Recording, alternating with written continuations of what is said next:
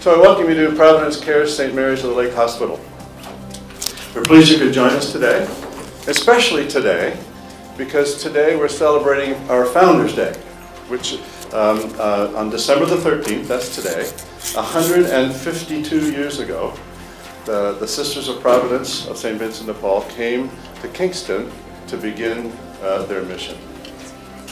So we're also celebrating um, and honoring the ways our staff and our volunteers uh, across Providence Care provide service in, in support of our mission to many, many people across Southeastern Ontario.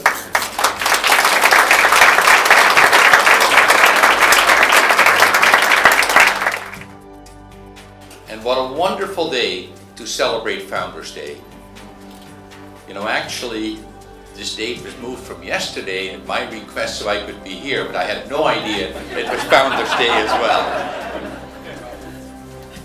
You know, almost 60 years ago, I came into uh, St. Mary's Lake Hospital when my late father worked here for about 10 years, 12, 10 to 12 years as the head maintenance man. The best working years he spent in his entire life.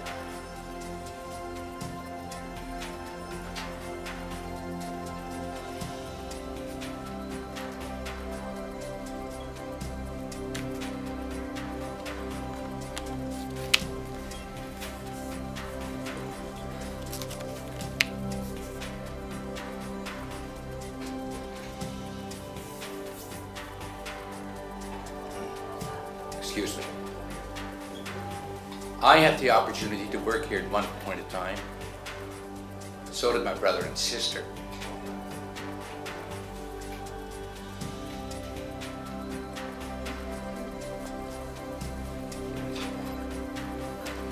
Uh, and my daughter works here right now. 15 years ago, I was at a meeting when the Sisters of Providence were asked to take over the psychiatric hospital site when the province decided to divest the mental health facilities to a good local organization. And I could think of no better organization than Providence Care. At that time, and I can remember the meeting quite well, it took place at, uh, thank you.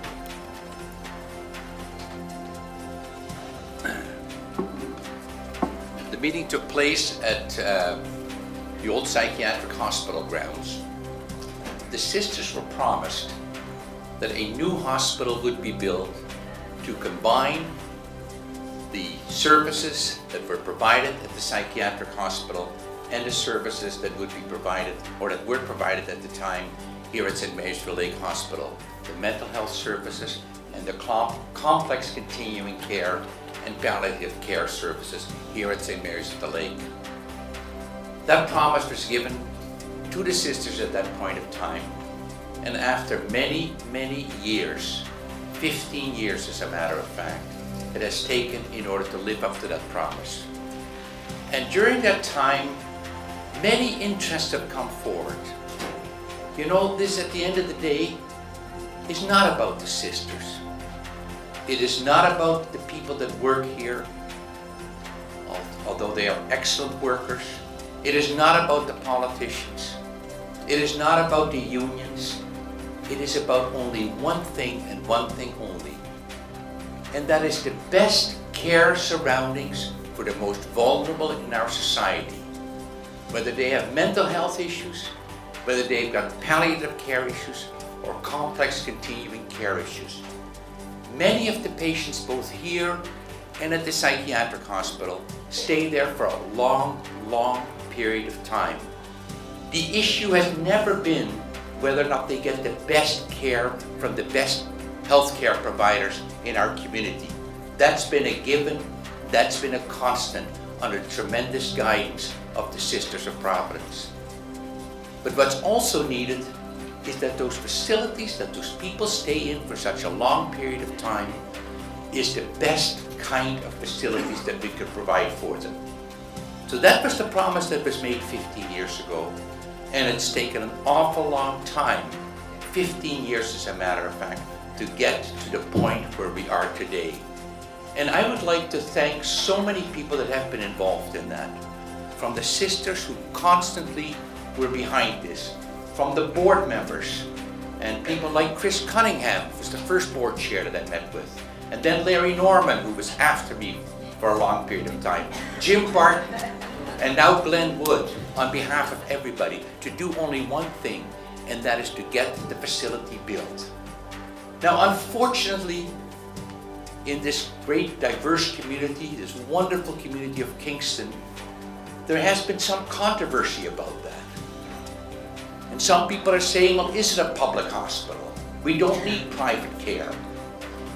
But let me just tell you this, that if it was not for the alternate financing process that we're going through today, this hospital simply would not be built for the next 20 or 30 years. And that is the reality of the situation.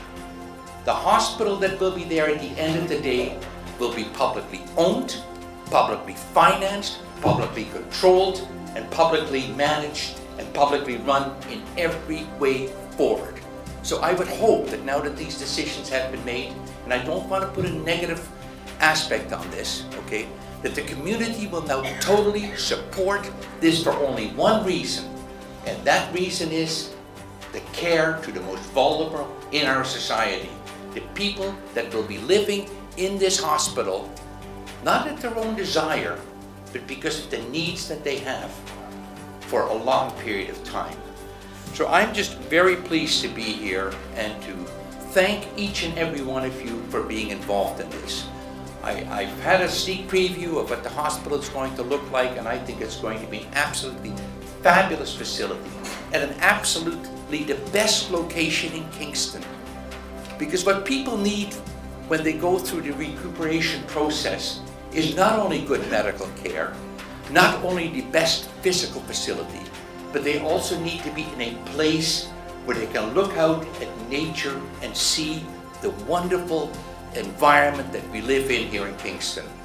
So uh, there was many more things that I was going to say, but you've heard it all before. I'm not going to say it again. Congratulations to everyone that's been involved in this. I look forward to seeing the building completed within the next couple of years so that those individuals that need that special care that you and I don't have the immediate need for can be looked after in the best possible facility under the guidance of the Sisters of Providence. So with that, I just want to congratulate everybody and say, let's get the building going. Thank you.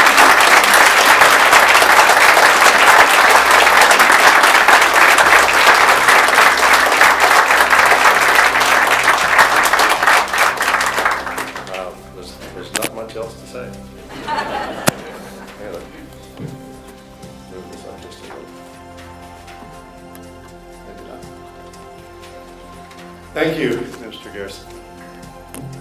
We're getting, we're getting closer to the unveiling, We're not, we're not there yet. Um, So to tell us more about the, uh, the milestone that we're, uh, that we're experiencing today, I want to call on Dale Kenny, the, the uh, president and CEO of Providence Care.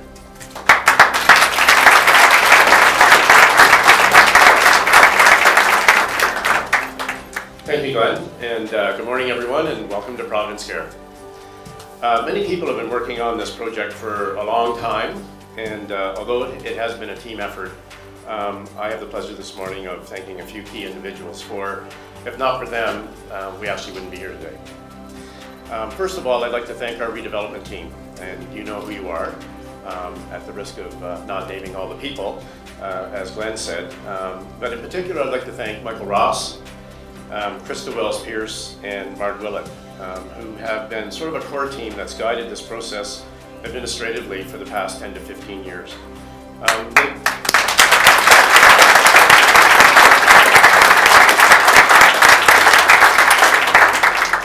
They've ensured that uh, we've had the right documents uh, in the right file at the right time. And you need that in order to have any project go forward. Uh, in addition, I'd like to thank Ben, ben and Beer, who's here from HOK. Uh, HOK is our planning and design consultant, who we've been working with for the past couple of years, and they played a key role also in uh, making sure that we got the right information in the right file at the right time. So thank you, Ben.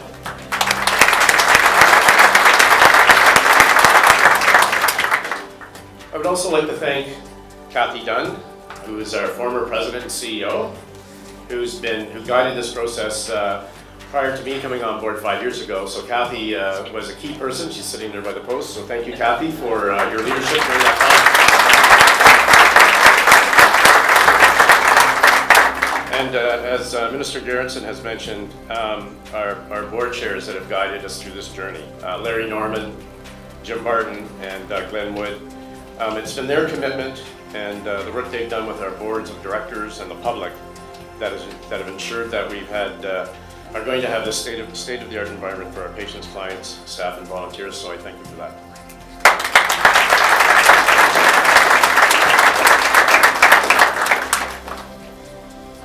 Um, I would like to thank um, Carolyn Beatty, who was uh, mentioned earlier, Carolyn, and uh, Aaron Brashowski, who is not here, but from the Ministry of Health and Long-Term Care for their help in ensuring that our specifications and process comply with ministry policy. Uh, it's uh, been a bit like a marriage with the Ministry of Health. We've had our good days and bad days, but uh, um, we, we did deliver on this, and uh, I, I really want to thank Carolyn and Ann for their assistance in this. So thank you, Carolyn.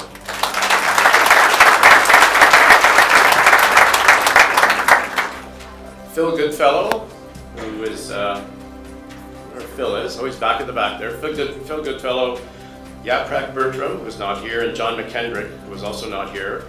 Our friends at Infrastructure Ontario, um, thank you for your um, leadership and uh, get a little emotional. We spent a lot of time together uh, and guiding us through the procurement process. Uh, I can tell you firsthand that uh, Infrastructure Ontario delivers on their commitment of on time and on budget. So thank you for that.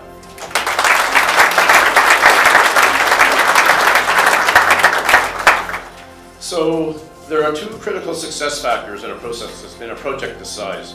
Um, you need to have the community share the money uh, for your project, and you need, need to have the political will to achieve your approvals at the government level. You need to have your community share in order to have any capital project considered by the Ministry of Health for approval. And we achieved our community share through the Together We Can campaign. The public opened their wallets and made this new hospital a reality. The public understood the need for a better care environment for those people that are served by Providence Care, and they supported us through their donations. It is really satisfying to know that we have public support for this new hospital. So I have a big thank you to the public and our donors, and to University Hospitals Kingston Foundation and their executive director, Denise Cumming, for leading and running such a successful fundraising campaign. So thank you.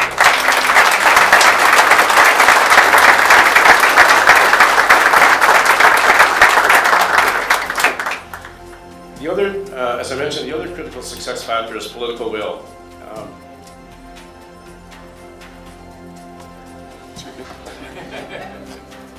um, John Gerretsen and I have had a, a, relation, a, a, relationship for the past number of years um, around this project. I can uh, still recall a few Saturdays um, sitting uh, with some friends, uh, might have been having a beer or two, I'm not sure, but uh, I'm looking at my cell phone and seeing this number come up and wondering, who's that? And so hit the thing, it'd be John.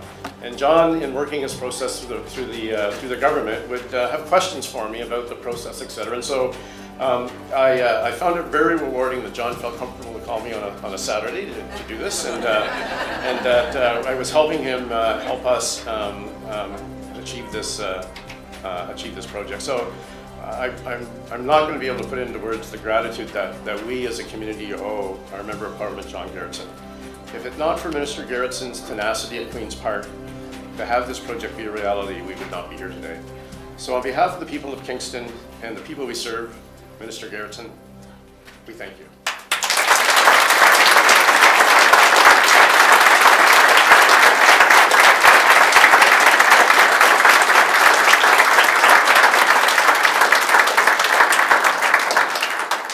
And so now, I would like to present the new Providence Care Hospital.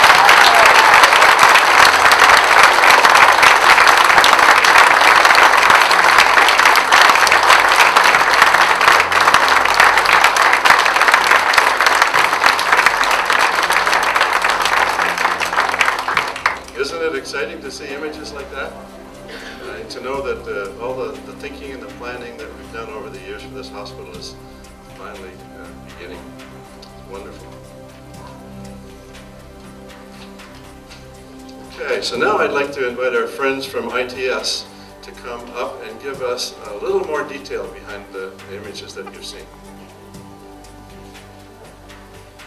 Thank you. Um, I just want to say this is why I love what I do. It's coming to your to these type of communities uh, and connecting um, to develop fantastic infrastructure for our country and our province. Um, good morning, ladies and gentlemen.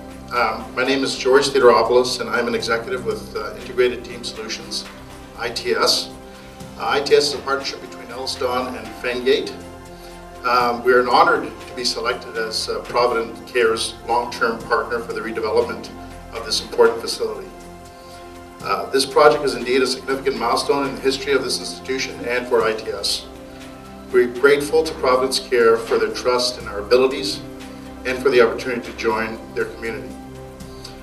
Uh, we also want to recognize Providence Care's vision in leading the way in compassion and discovery for so many. Its mission of enhancing the quality of life of its patients by meeting the physical, emotional, social, and spiritual needs of each person, and its values of respect and dignity, compassion, and stewardship. We embrace these words as we embark on our partnership with you. The new facility has been specifically designed to meet the changing needs of patients and the hospital's holistic approach to care. ITS is proud to be a partner in the hospital's mission to show compassion and respect for its patients throughout each person's road to recovery and reintegration into his or her community. Now a few words about EllisDon and Fengate, and who we are. Um, is North America's leading hospital builder with over 160 successful projects to date. Yes, a Canadian firm based in Ontario leads hospital design and construction in North America.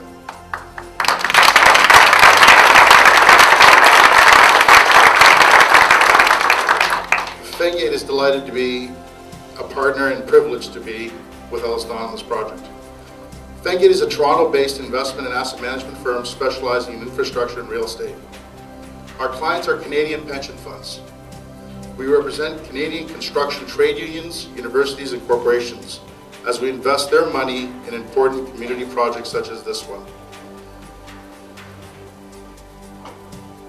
EllisDon and Fengate founded ITS on the principles of an integrated approach in undertaking public-private partnerships to ensure the interests of the design builder and the concessionaire are aligned with the long-term objectives of their public sector partner. And as is the case in all of ITS's project, EllisDon is not only the design builder, but is also an equity investor in the concession. Our approach has allowed ITS to become Canada's most successful proponent of hospital design, build, and maintain concessions, as measured by the number of projects. So to our friends at Providence Care, you have entrusted your project to a highly experienced team with a successful track record and a long-term view on partnership.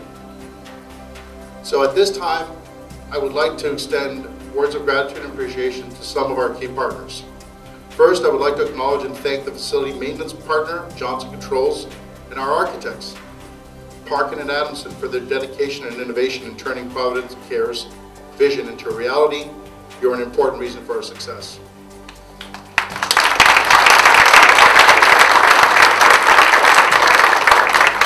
We are also grateful to the staff at Infrastructure Ontario for their role they play in managing a transparent, fair, and efficient procurement process. I can confidently say that Ontario is the envy of the world in alternative finance and procurement, and this is because of the staff at Infrastructure Ontario. You are truly world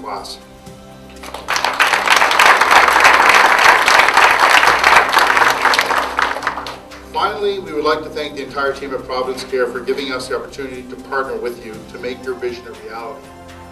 We especially acknowledge and thank Dale Kenny, Chief Executive Officer, Michael Ross, Director of Project Redevelopment, and Krista Wells Pierce, Incoming Director of Project Redevelopment, for their contribution in creating the partnership between our two organizations. We look forward to the successful opening of the new Providence Care Hospital. And with that, I'd like to invite uh, the folks from Parkin to come up and share some of the design details of the project.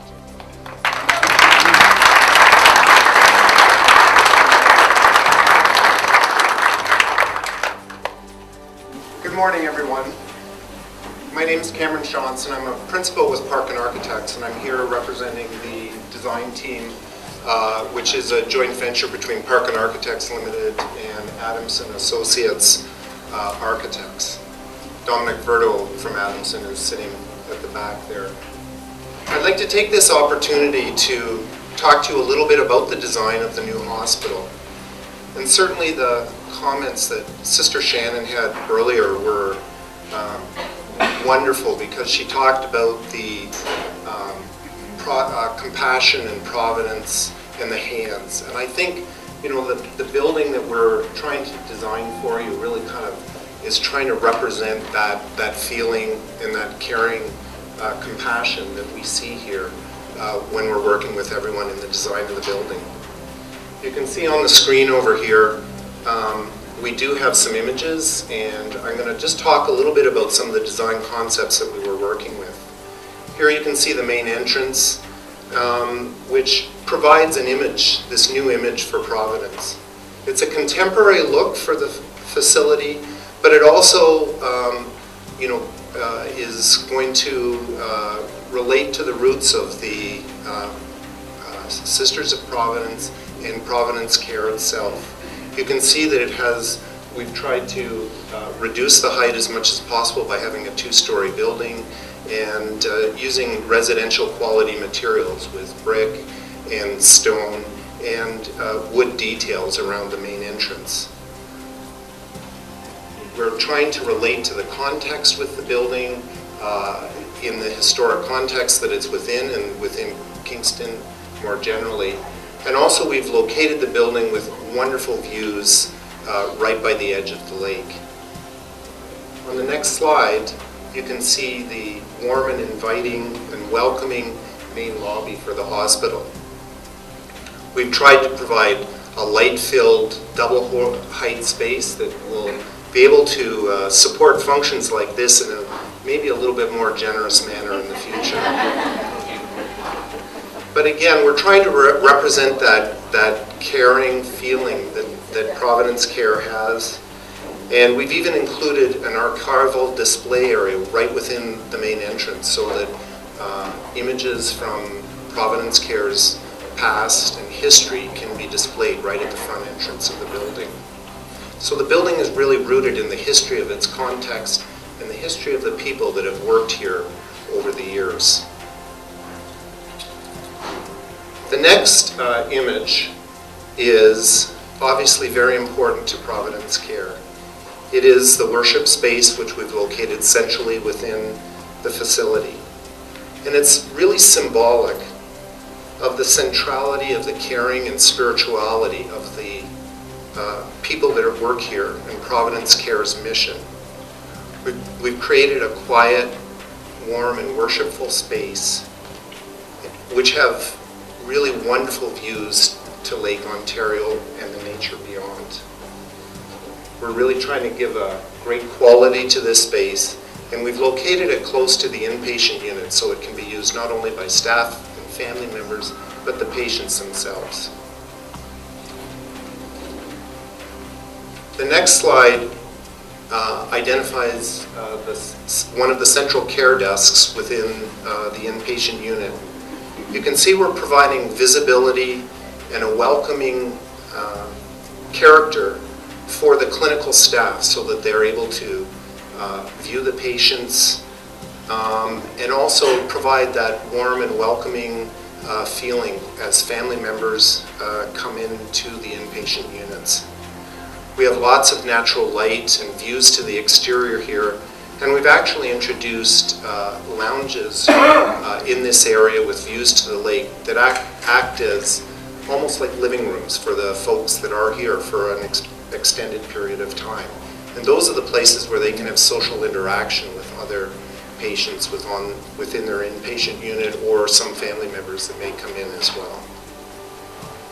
The next slide identifies uh, one of the inpatient rooms uh, this uh, facility is really fabulous because it is going with single patient rooms. Everyone gets their own dedicated room with a dedicated washroom. This really uh, relates to things like privacy, uh, infection control, and creates an environment where that healing and transition can proceed. Everyone will have views out to nature and out to the lake uh, wherever possible to help give it a bit of a residential feel because there are many people that stay here for quite some time. We've appointed the rooms with a desk, a shelf, a place to put cards, uh, flowers, and a little uh, opportunity for them to work. Also, we've done little touches like uh, the medical gases are hidden behind uh, a piece of artwork, again, so it doesn't have that institutional feel and has more home-like or residential feel to it. We have, though, provided patient lifts within each one of the rooms uh, to help in moving patients and to um, make sure that we uh, acknowledge the potential for uh, injuries for staff members by having an appropriate lift in each, uh, each one of the rooms to cut down on those potential injuries.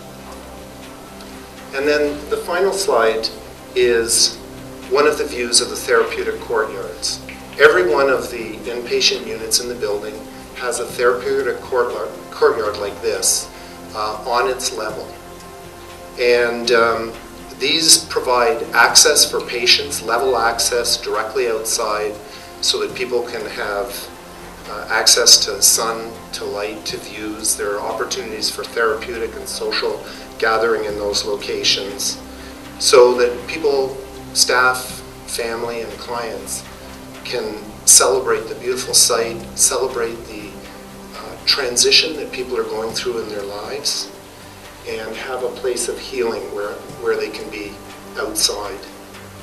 So to finish up, I would just uh, like to say on a more personal note,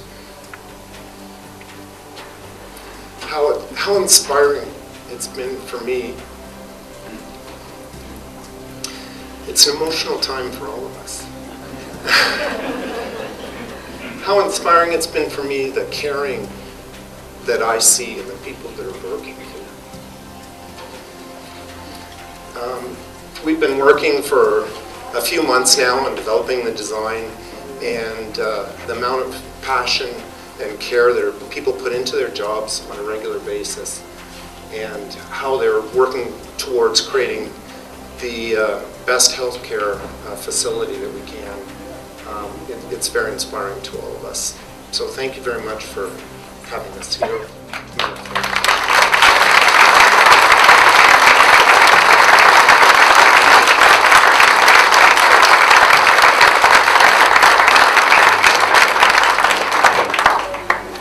And George. Now to uh, begin to wrap up this event, I want to call upon two people. Karen Blatchford, who's a, a former patient, and Dr. Chris Frank, who's the chair of our medical advisory committee, to come and speak about their reaction to the new hospital design concepts. Karen?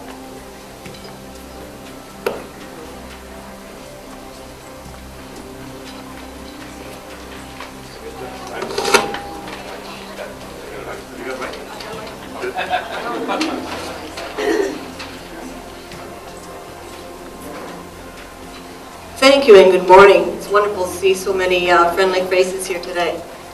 It's great to see so many new images of Providence Care Hospital and uh, the great words we've heard about it. But personally, in, in thinking about it, I think the new Providence Care Hospital provides an invaluable opportunity to enhance the lives of patients, to make it a special place for those who call Providence Care their home. The new hospital will provide patients and their families with an environment that's fresh and modern and that fosters caring and healing. And this could open a whole world of difference for someone who's living there, enhancing their independence. And that independence could lead to more self-confidence. And that's important in anyone's life. And for patients who are in rehabilitation, they will have an environment that's more conducive to healing and recovery. And it will be bright and beautiful. Our facility will have a welcoming, more home-like atmosphere. Patient rooms, treatment rooms, and equipment, matched with professional care of the staff, will enable patients to excel to the best of their abilities as they strive to meet their individual treatment or care goals. Patients will also enjoy more space, both indoors and outdoors, to visit with family and friends next to the beautiful backdrop of Lake Ontario. The prime waterfront location will allow for a safe and calming outdoor experience, helpful in the healing of both the body and the mind. This is a very exciting time for all of us as we work together creating a hospital that's second to none and that will be invaluable to the patient experience. And I spent almost six months here a few years ago. It wasn't my original rehab. I had rehab here 20 years ago in another hospital, and I thought that I had learned it all and seen it all, but certainly my care was enhanced when I was here, and they certainly enhanced my life and enabled me to continue and function back in the community. So a, a great deal of thanks to Providence Care for their tremendous work that they do now, and they continue to do, and will do in the future. Thank you.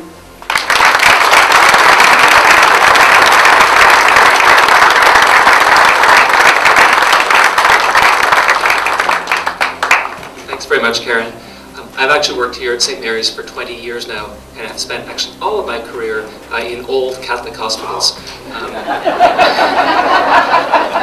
so I was at St. Joe's in London, I was at Hotel Dieu, and then I moved here. So, um, so I think that you work in a Catholic hospital because of all the things that have been mentioned. And I think uh, certainly when I arrived, the presence of the sisters was very much felt and was also heard because my office was right below one of the pianos. So I, I heard Onward Christian Soldiers fairly frequently. So some of the things that have really changed as well is that when I, I remember one of my night, first nights on call here, and I came in around 9 o'clock and the rooms were, the halls were dark, and there was a voice intoning an evening prayer.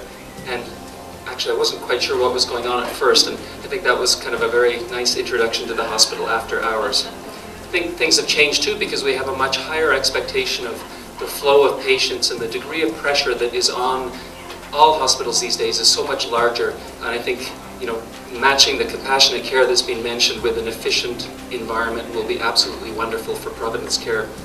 So I think obviously the spirit uh, does not equal the building, but the two are intimately related.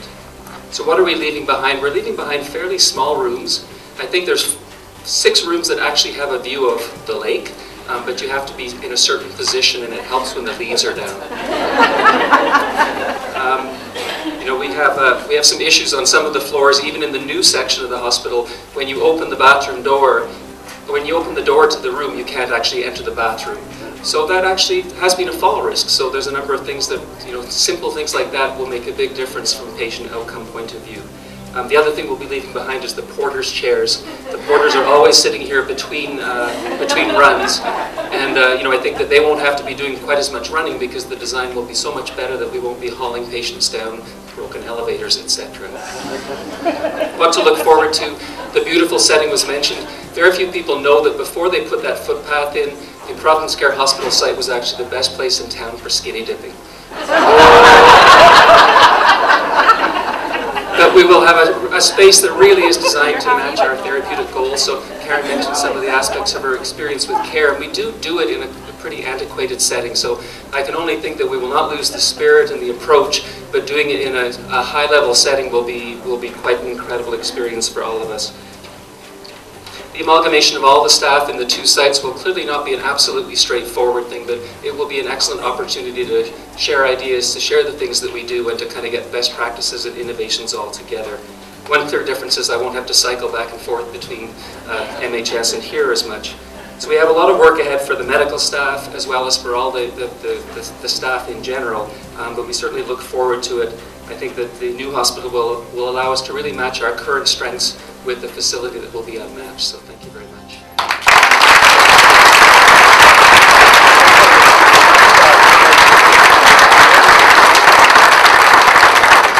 Thank you, Karen. Thank you, Karen and Chris. Um, so one last thing that uh, we want to do before we before we leave, and that I'm going to ask Mike Ross and his team um, and the, um, to come to the front around, around the... Uh... One, two, oh, three... Which way are you going?